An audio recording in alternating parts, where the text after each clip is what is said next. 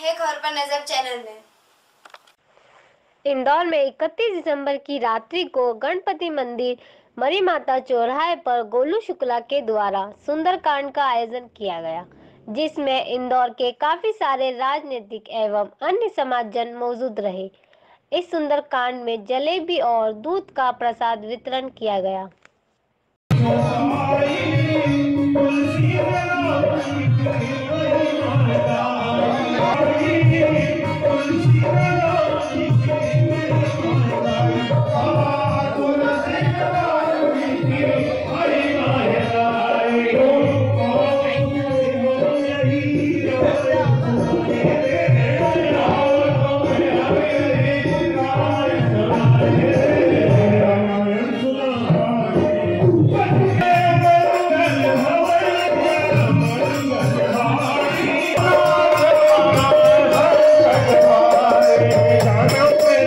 Thank you.